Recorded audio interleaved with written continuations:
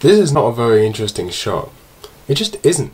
There's nothing really to draw your eyes to. I mean, you'll get bored of looking at my face after a little while. Uh, so many YouTubers have their videos just this for so long.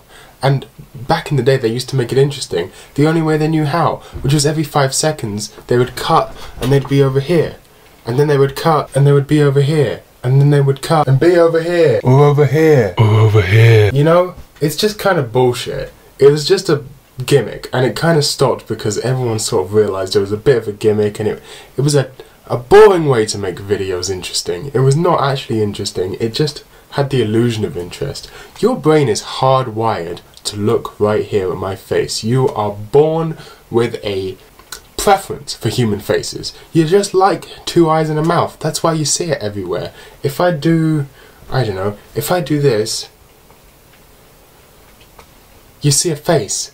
It's not, it doesn't look anything like a face. The proportions are all wrong. Eyes aren't just dots. They've got all this complicated stuff. When have you ever seen a mouth that looks exactly like that? Never. But your brain is predetermined. It's it's it's made to look for faces. And that's why we can just about stand watching a video that looks like this. Because you've got a face, right? And what really matters is never the video. What matters is actually the words that I'm saying. Right? Of course, we all know this. You don't watch a video in general to watch the video. You watch it because you want to know what I'm saying. You want to listen to me. You want to hear my words. You want to know what's going on in here. Or maybe you want to know what's going on in there. But I'll get to that. So this is not a very interesting shot. How can I fix that? How can I make it a more interesting shot? You know, I have my methods, but but what, let's look at let's look at some of the history. Maybe I should do this. Now this is much better. Look, you got all sorts of visually interesting stuff to do. See, games are designed from the ground up to be visually interesting, right? This game is incredibly visually interesting. You got all sorts of shit moving around the screen. Even the camera's moving. I can't do that. I can't have a camera move. This isn't a film. I don't have a camera operator. I'm not Casey Neistat. I can't move my camera around. So this is great. Look, you got the environments changing as the camera moves from left to right. Plus, there's another narrative to follow. There's a B plot because you can actually follow what's going on in the game as a secondary plot to what I'm saying, which uh, instantly makes the video way easier to watch, right? Because not only do you now have to pay attention to my words, you have something extra to entertain you. You can actually pay attention to the gameplay. And a lot of YouTubers have done this throughout the years. A lot of YouTubers have done this throughout the years. In, in fact, for a long time, it was the most popular or in fact, it might still even be the most popular way to just simply say your thoughts. How many times have you clicked on a channel or a video with an interesting title or thumbnail and expecting to hear some sort of insightful vlog or commentary or maybe even some sort of mini documentary and instead what you get is some dude playing Call of Duty and rambling about that time his girlfriend broke up with him or that time his mum caught him smoking weed? How many times has that happened to you? Maybe never. Maybe this is just a me thing that I'm applying to everyone else. But I'm going to take a wild guess and say that uh, I am not the first person to have experienced that. Um, you know, in fact, a lot of YouTube channels that have went on to become pretty big started off by doing that. Um, uh, for example, the Syndicate Project, who you may know from being involved in a, a pretty big scandal a little while ago, with regards to a Counter Strike gambling website that he hadn't admitted that he owned or some bullshit like that. I don't remember. And we found this new site. He started off by doing the exact same thing. His original thing was he would record Call of Duty and uh, commentate over it separately. Not like I'm doing now, because I'm actually commentating over it right uh, live because I couldn't be bothered to put in the effort to go back and re-record audio over this footage. So I'm just playing at the same time as I talk. But um, so this is quite interesting, but there's a few problems here. Firstly is what I just said. I'm playing while I'm talking, and that means that not all of my attention is devoted to talking about the subjects I'm talking about, which is easy when I'm talking about something that is not particularly difficult to talk about, like right now. But what if I just wanted to start talking about, I don't know, philosophy or something, something that that required my full attention to, to, to discuss, something where I needed to remember a lot of things. What if I was trying to talk about, I don't know, Elder Scrolls lore. I don't even know anything about Elder Scrolls lore, but for some reason that seems to be a bit of a meme right now, is knowing a lot about Elder Scrolls lore. What do, I don't know shit about Elder Scrolls lore. I could tell you about Portal and Half-Life lore. Um, you know about the, I don't know how much is actually regularly known about Portal and Half-Life lore, but you know about the Borealis? I know it shows up in in Half-Life at some point, uh, but did you know it also shows up in Portal at some point? Did you know that the Borealis is actually where the Portal devices were originally uh, prototyped? That's why the Borealis is, is in both games, because the Borealis, which is a big boat if you don't know, um, was basically developed to test the Portal device. Um, except that then it was much bigger and they didn't know where it was going to end up, so they basically created a big wormhole now, you know, it's quite difficult to talk about something like that and be interesting while I'm also trying to play this game. But but there's a bigger problem than that. What the fuck is this game? Have any of you guys ever played this game? It's called Floating Point. It was free on Steam, and it's a it's actually a really fun, solid, like relaxing game to play. It's a I'd recommend it since it's free. I think it's free anyway, but uh, it's a it's a really fun game. But uh, firstly, it's, I guess it's not it's not something you can play for like a whole day, really. It, it's, it's got pretty. It's got two buttons. It's got left and right click, and that's it. All you do is is is collect these little bars, right? But but you don't know that because you've probably never even seen this game before, unless you have. In which case, good on you. You're very you're very clever and special, and uh, your parents love you very much. But um, for for the rest of you, it's kind of hard to relate to what's going on right now, right? It's kind of hard to relate. You don't know. You don't really know what's going on. Um, so hold on, let me let me try something else real quick. Side note, I have been playing this game for literally years, and I only just discovered that you can zoom in and out by using the scroll wheel. I'd never even attempted to use the scroll wheel before, uh, just now. Literally, I've been playing this game for at least three years, like maybe once every month or something. I'll sit down and play this game for like a few minutes and then get bored. Uh, and I only just discovered that you can zoom in and out using the scroll wheel. You can zoom very in. When the, would you ever need this? when, why did they put that in the game? Uh, now this, this is something familiar. You might recognize this, right? What is going on right now? This is CSGO surfing. I feel like there was some big channel a while ago that did something like this and talked over it. But um, this is also quite a relaxing thing, but you know, maybe maybe we need something extra. I feel, still feel like I'm missing something important. Also, I don't have this map set up correctly, so it's gonna say round draw when I die. Um, you know, I feel like we're missing something. Could it be maybe this? Ah, now that is pretty interesting. Here I am now. You got two things to pay attention to. If you don't want to look at the game, you can look at me, or if, if something interesting happens in the game, which it probably won't, because that's the entire point of using CSGO surfing, because nothing interesting happens, except that I die constantly, because I suck at CSGO surfing. Um, you can see my face. You can see my lips as I talk, you can see my reaction to things I say, my emotions, you can get a, more of a sense of, of my gestures, the things I'm saying, you know?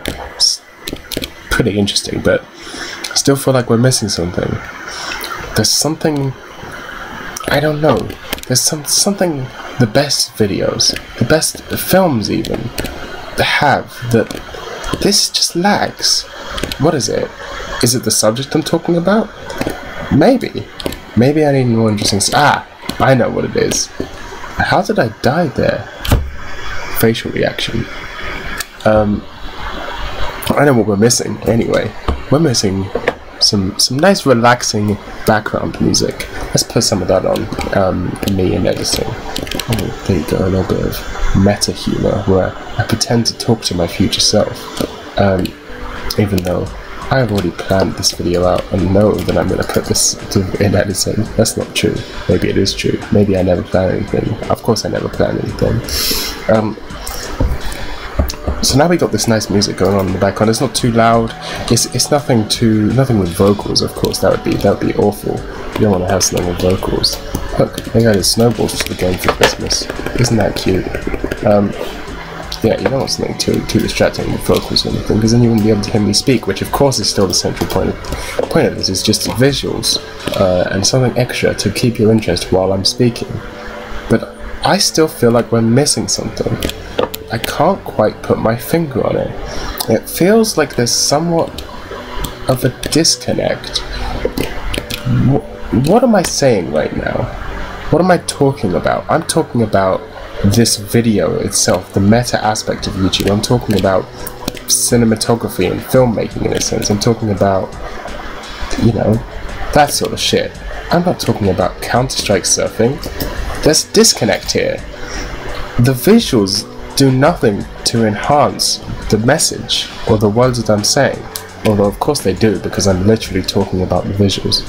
But in general, if this was any other video and I was talking about something that happened in my day, or I was talking about, I don't know, anything, I was talking about something, some philosophical something, or whatever, you know, the visuals are essentially just random, just random noise to keep your eyes entertained while your ears do all the work.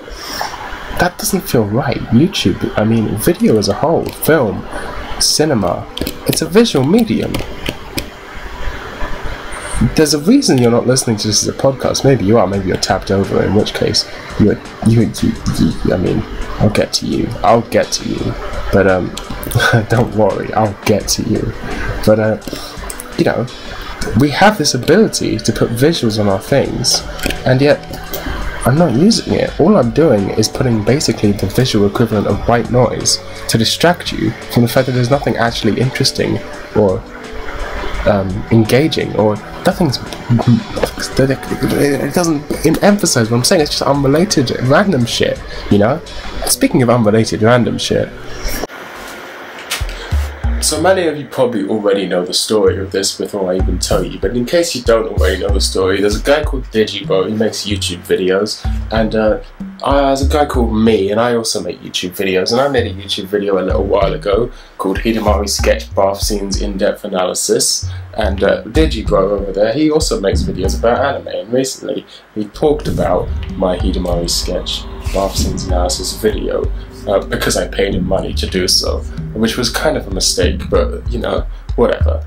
Uh, and uh, one of the things he said in that video is he talks a lot about stuff that's unrelated, that's seemingly unrelated. Like, I'm talking about seemingly unrelated things in that video, like Superhuman and the, the GD fairies and Lane, which isn't really related to the Hidamari bath scenes, is it? And, and, you know, when I'm, when I'm filming I'm not filming my face. I don't show my face in the video. I'm filming unrelated shit. I'm filming a fan, or I'm filming a beer, or my floor, or just the screen. You know, why? Why unrelated stuff? You know, he sort of built this up, and uh, is it unrelated? Was it?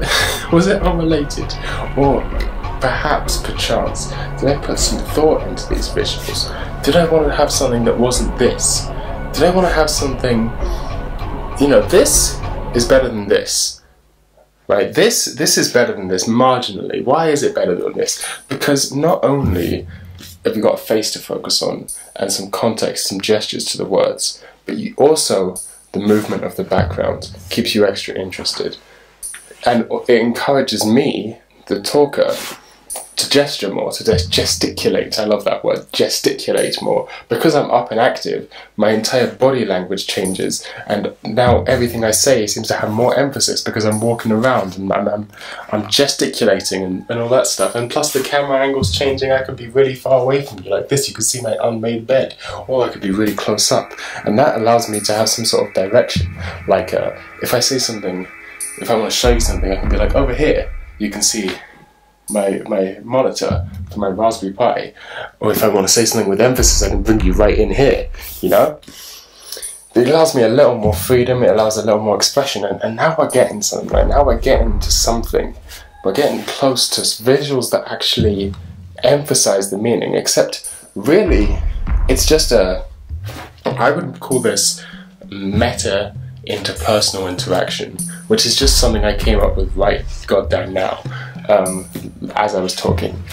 This is not literally me having a conversation with you, but this is a a, a meta version, a, um, a, a version of what it's like to have a conversation with you in person, but but through the medium of video, right? Because obviously, if I'm in person, you're not actually moving around like this, but it feels like that. When I get more intense, you're, you're right there. You can see all the motion in my eyes, and you know, the world's always moving behind people. There's cars and shit going by. You know, this is like a a version, an emulation of that, uh, like a meta version of that, because obviously it's not really that, is it? It's just, it's just an emulation.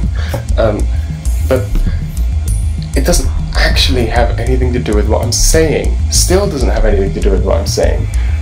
I, I know I, I can go on about this for fucking ever. I, you know, I could give more examples of how different YouTubers do it. Some people these days have a lot of infographic shows. That's one thing that that's that's very popular. Um, I'm actually going to put this down because it's quite heavy. I don't know how YouTubers do this for hours, but it's heavy carrying a camera around. so there's a billion different ways that I can make a YouTube video interesting. Infographics is a commonly used one, I literally just said that, but you've also got those channels that will use um, stock footage. They'll buy stock footage or, or, from like VideoBlocks or something to put over their, their, their, their words and then they'll have something vaguely related playing. Uh, and that way they don't have to shoot anything that they, they, they wouldn't be easy to shoot and you get relatively relevant visuals, albeit without so much control because you have only a select amount of stock footage to choose from. Um, now, but but that's just literally the exact style of the video. There's even more interesting ways you can do it. There's there's even more stuff you can do with the medium in in, in in terms of strengthening, reinforcing your message that you're saying with your words, with your visuals, or even better, adding a completely new aspect. You don't just have to use visuals to reinforce what your language is saying. You can have the visuals actually say something in addition to um, to what you're saying. This is why gameplay is, is good because the, the visuals are actually saying there's another narrative going on. While I'm talking to you and you can hear my words, you can also see like, oh wow, he's on a kill streak or whatever with the Call of Duty example. And now here's a common one that people will do. Um, now, a common element people will use in their videos that's kind of separate from the main video, but but emphasizes the point or adds another point is what I just did drinking wine straight out of the bottle or drinking alcohol at all on camera. Uh, Digibro does this a lot, as I was just talking about him, but you know a lot of other people do it too. Um, uh, so in this example, I'm drinking wine on camera straight out of the bottle. Uh, why am I doing such a thing? Well, let me talk about it. Uh, it's supposed to come off, as you can see, I'm drinking wine out of the bottle here, so it's supposed to come off as if I was already be drinking wine. Uh, and this is not just a prop, but uh, but, but, this is not true. It's not that I just happen to have caught myself drinking wine on camera. You know, uh, sure, I did already open this bottle, and I was already drinking it. Uh, but I chose specifically to film myself drinking it. Everything that you see is a choice when it comes to videos, right? So when you see someone drinking, ask what it means. What's the character trait I'm trying to portray? Am I trying to portray, like, what sort of person am I trying to show myself to be when I drink it, this? And what's interesting to me is how that differs from this. Exact same beverage, exact same alcohol content, everything's exactly the same except I'm drinking it out of a glass instead of out of a bottle. Why does that make a difference? Why do you see some YouTubers who choose to record their videos drinking out of this? And I'm talking about videos that are not just like random gameplays where they happen to be drinking or whatever, but I mean videos about other things that happen to include alcohol in the video for some sort of story or characterization effect. Why do some people drink here? And why do some people drink here? Why do you see, for example, Digibro drinking straight out of the bottle? Why do you see ContraPoints drinking straight out of a glass? Or, for that matter, why would you see someone like this? We got even more connotations here, haven't we? This is someone who wishes to present class, sophistication.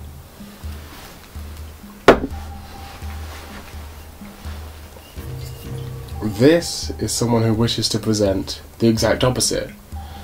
And simply by changing the vessel of the exact same beverage, our own internal associations change the meaning and the context behind the words said you hear me say something with the bottle in my hand, you're going to interpret it differently or it's coming from a different position than if you see me or hear me saying something with the glass in my hand. I'm starting to get quite drunk after drinking all of this wine. so alcohol is fascinating. The social context behind alcohol, they're fascinating to me.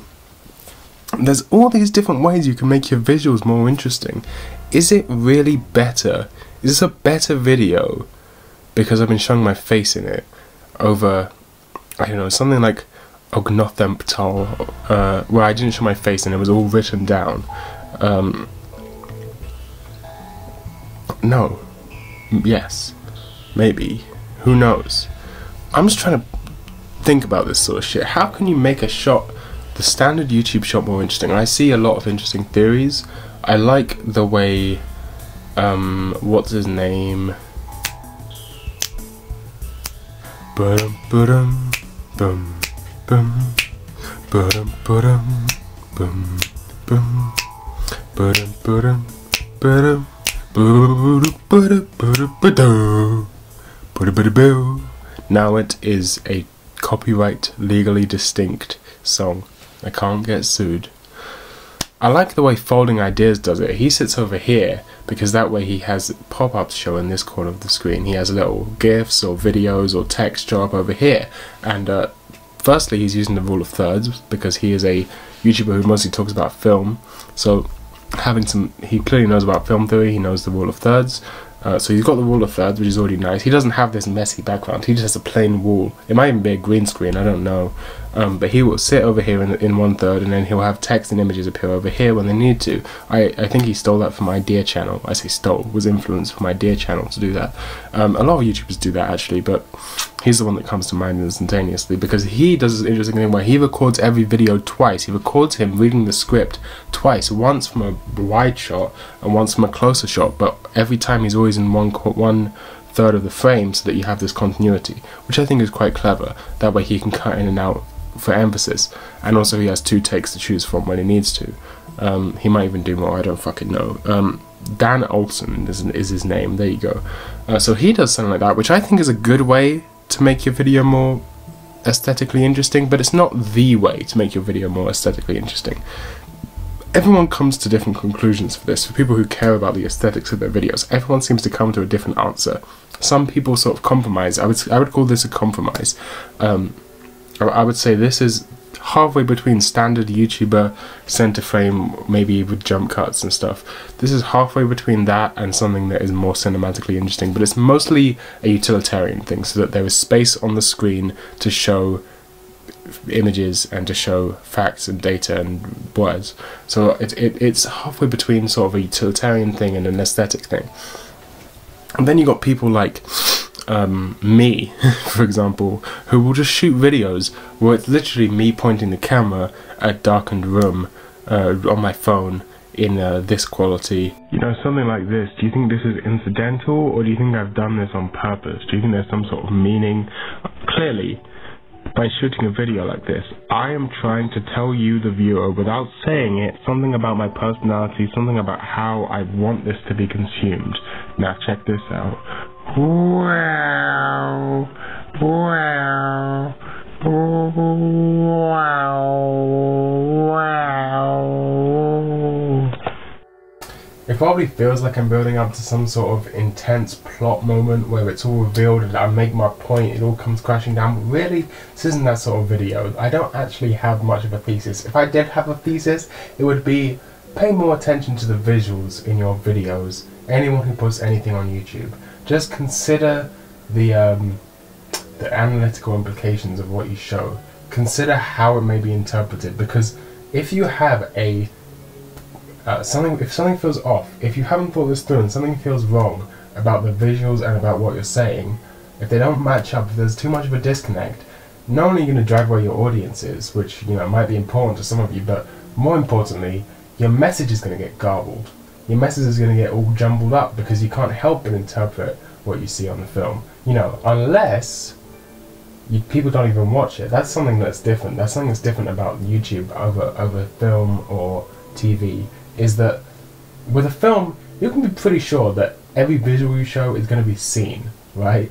If everyone who watches the film is watching a film. Whereas a lot of people on YouTube just tab over and listen to videos, right? That's actually very popular way of doing so. And also, a lot of people on YouTube um, watch videos on their phone in a very, very small screen. So the visuals can't be anything too complicated if you're pandering to that group, if you want to get a lot of views, you know, and, and even if you don't pander to that group, again, your message might get misconstrued because your connotations of what you're showing with the visuals and what you're saying with the with your words or, or whatever other audio you're showing, there could be some sort of weird disconnect there, and you could send a different message than what you want to send um, we've been conditioned with this certain filmic language ever since we're children, just culturally, we have this, this universal filmic language which is, is sort of burned into us by everything we consume from when we're children, right?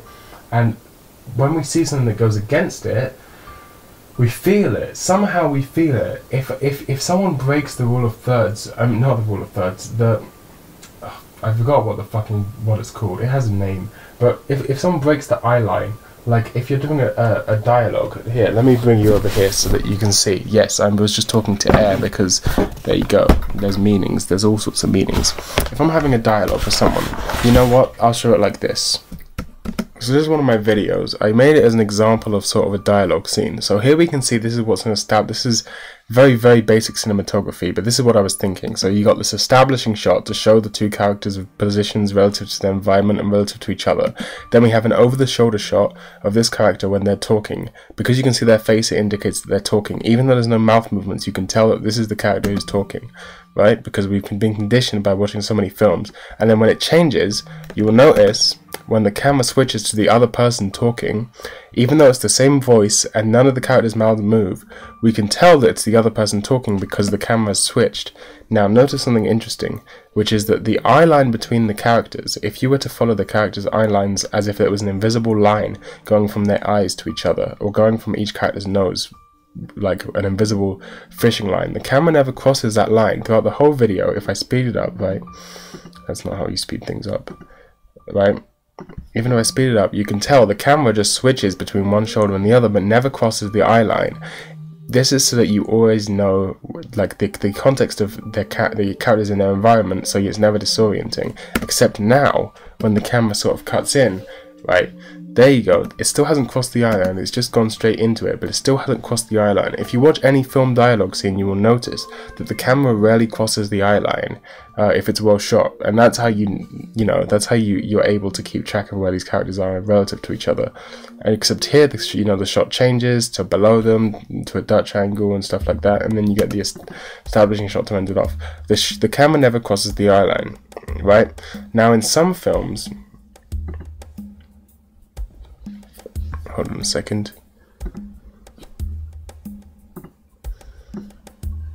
Now, in some films, uh, the camera will cross the eye line. In fact, this is quite a common technique that people use. Except you'll notice that when the camera does cross the eye line, it's a pivotal moment in the conversation where the power dynamic changes, or where something is revealed, or something very important happens. You will normally see the camera literally do this. It'll be over one character's shoulder like this, and the camera will do this. You'll see it happen, right? You'll see it cross because that way you know, and then it will be on the other side of the eye line. But it will never cross the eye line without telling you if it's, you know, unless it's trying to be disorienting on purpose. Generally, a dialogue scene will never cross the eye line on purpose. Why was I talking about this? Was it just an example of cinematic language? I have no fucking clue. Why was I talking about this? What I'm trying to say is, is there an interesting shot? Is there any interesting shot? Can I make this shot interesting? Through through symbols, through you know, I'm very limited. I can't move the camera while I'm talking. Really, I can do this. I can pick it up and move it around a little, but I can't have like a nice camera, smooth camera movements. I don't have a cameraman. I can only do what I can reach. You know, generally it has to stay still. You know, and it has to. I, uh, I'm recording the audio with the inboard mic on my computer. You know, I can only do so much. I'm very limited. Is there a more interesting shot of my face? Probably not. But especially with something like the Hidamari bath scenes analysis, I wasn't trying to show my face. This film is not the the the video is not about me. Especially with the Hidamari bath scenes analysis, the video is not about me. The video is not about me. The video is not about me.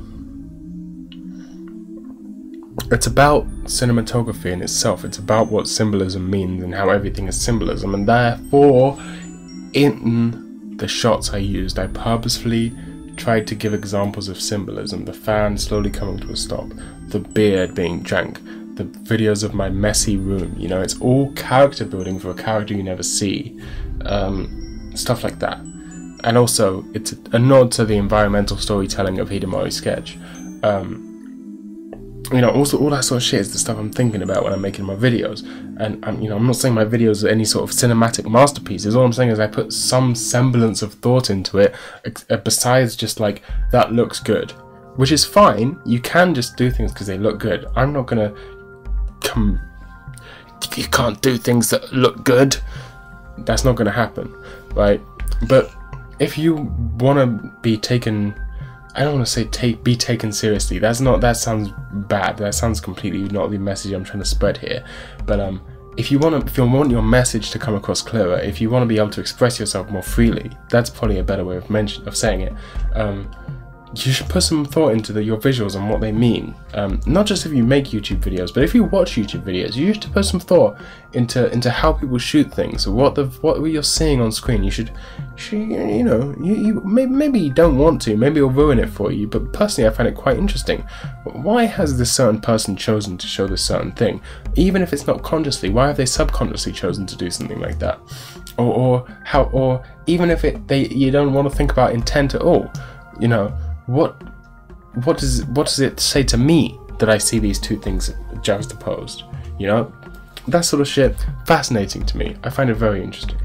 Which is where we get to the ultimate in what I would well, I don't know if I, I can objectively say this, but probably the ultimate in in high production value YouTube visuals, Casey Neistat he clearly, clearly puts thought into his visuals. He has such a distinctive visual style that you can instantly tell when someone is influenced by him. It's so obvious because you can see all his trademarks, right?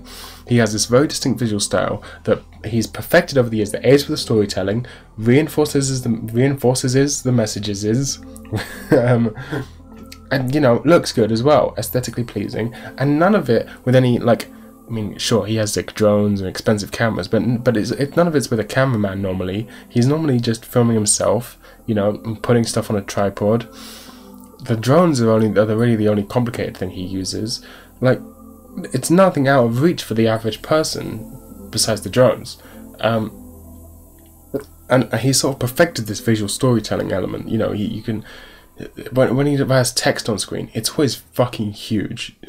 Normally, it's big, center, even covering stuff up, right? You, you, you know, a lot of YouTube channels have failed to develop a distinctive visual style, especially gaming channels. It's very hard to have a distinctive style when you're talking about gaming or when you're talking about um, media analysis because generally with media analysis what people do is they will just show the media they're talking about um, like if you watch an analysis of a game you'll just see gameplay from that game often it will be like what the person is talking about at that moment like um, the gunplay in this game is better, and it, they'll show, uh, but like them doing the gunplay or you know something like that. But other than that, like there's nothing particularly interesting. It's mostly very utilitarian and doesn't really help with any sort of artistic message. Uh, which is fine. There's, nothing illegal about that, you know. There's nothing illegal about it. You're allowed to do things like that. It's fine. But if you want to take, if if you want me I don't care about anyone else. If you want me to really think your videos are next level, then then you got to do something more interesting with with the visuals because YouTube is a visual medium, and this is especially interesting to me because YouTube is also the biggest music streaming platform, and so many times you look at a song and the album is the it's just the album art and the song playing in the background, which is fine because 90% of the time all you want to do is put the song in, song on in the background which is fine because 90% of the time all you want to do is put the song on in the background. However, there's something really cool when you see a song with a visualizer to go along with it or a little music video or something. You just think, ah, they've put effort into this YouTube release. You know, it it reinforces and plus you see things like Flume's latest album has a visualizer for the whole album. And when I normally I, if I was gonna I would you know, I would have listened to that Flume album. I would have maybe listened to a couple tracks or maybe the whole thing. I would have listened to it in the back background while playing a game or browsing some website or something like that, right? But because it had this visualizer and the visuals so interesting and all the visuals enhanced, like they were, it wasn't like random shit to go along with the songs. The, the visuals were clearly had loads of effort put into them and were specifically made for each song, right? I sat down and I did nothing but watch and listen to the whole album, right, from start to finish, which made me pay more attention to the music. I probably wouldn't have thought that much of the music of the album if it wasn't for those visuals. You know, it's a cool album and all, but but everything it draws you in. That's what makes that so special. Stuff like that so special. It's it's great. It's I love it. I love when people do that. It's just that extra, the extra thing, going the extra mile, the extra step that a lot of people won't take. Um, so yeah, apply. There's been nothing written about this. So there's been nothing written about this. You can't find this in academic journals. Maybe you can. I haven't looked, but I'm assuming you can't find this in academic journals. You've got 100 years of film studies, of film analysis, cinematic analysis. But who's written about the styles, the conventions, the tropes, the techniques of YouTube or online video production? Um, like this is this is a brand new field. This is like a whole new wave of shit that we're seeing, and yet we're all being encouraged to do the same shit because people are used to the same shit, and so we're all being encouraged to do the same shit. And this is not a YouTube only problem. You know, it's very easy to say like, oh, that's just because YouTube is a terrible platform, and YouTube is a terrible company. Google's a terrible company. However, most films have pretty boring flat direction. Most TV shows have pretty boring flat direction.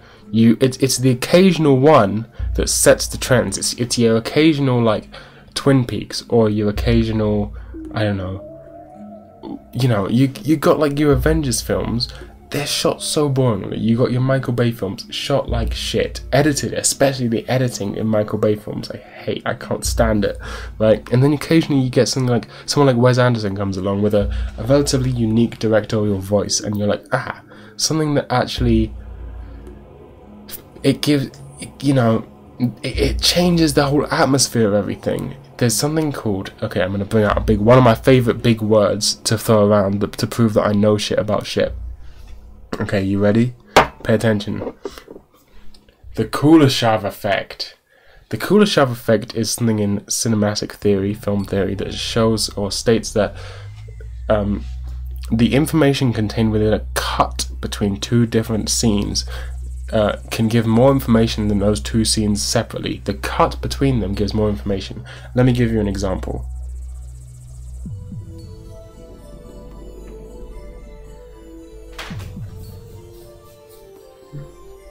That was something called a shot reverse shot.